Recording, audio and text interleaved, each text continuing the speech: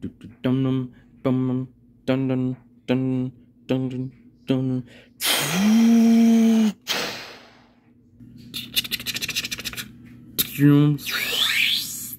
Alrighty then. Come in, Adam Knothole. Are you ready to be the first human being to travel to space at such a teenage age? Yes, sir! He better be. I trained my son this way, physically and emotionally. of course you did, Dad. Shut up! Soldiers don't whine. Professor? Radio.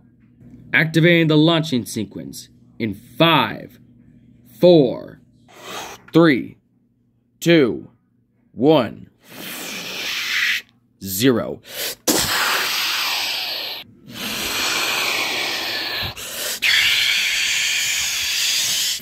What's going on?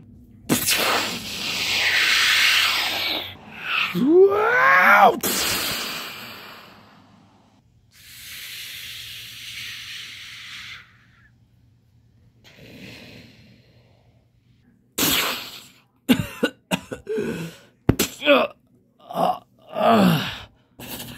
Ouch.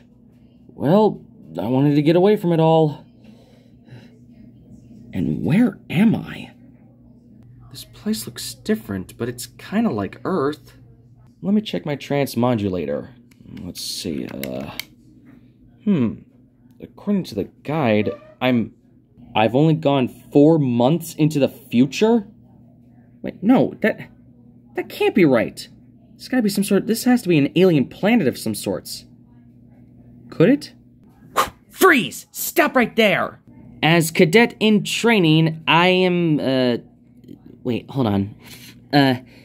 As cadet in training, I am placing you under arrest. What the? Who are you? What are you? I am Blue Eyes. I am what's referred to as a mutant. And I saw you crash land here from the sky, which was pretty cool, by the way. But humans are the demon scum of the earth. So put your hands in the air where I can see them. Uh, I don't know what's going on here, but I don't think maybe you should even. He's resisting! Oh! Ugh. Wow, that was easy. Oh man.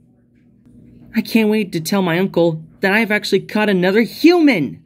This is so exciting!